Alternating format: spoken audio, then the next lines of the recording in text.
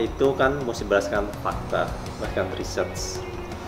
Jadi kan sekarang sangat metodical sebenarnya dari consumer punya uh, review dari uh, pendapat orang, survei ke project. Jadi saya rasa Golden Property Award ini memang uh, acara yang sangat baik karena uh, kita sebagai developer semua juga kita juga mengetahui lah pendapat orang bagaimana. Jadi uh, saya sih sangat support sekali, uh, apalagi dengan metode-metode yang dilakukan. Saya rasa memang itu itu musinya begitu. Saya sangat support sekali. Detail, survei itu menurut saya sangat baik karena itu suatu yang uh, harus dilakukan dalam semua aspek uh, bisnis saya rasa termasuk dalam hal ini saya sangat support sekali kalau itu berdasarkan data-data.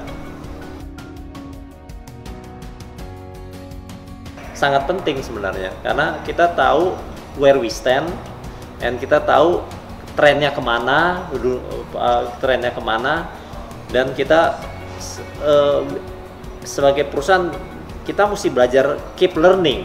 Keep learning adalah salah satu daripada juga uh, award ini adalah actually a learning proses bahwa sebenarnya oh yang kita lakukan itu oh, kita lihat kita bisa menang award kita menangnya di mana sih?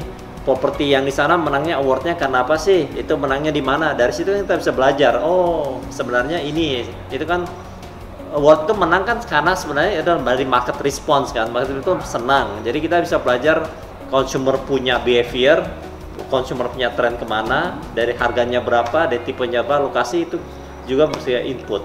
Kita menganggap seperti begitu.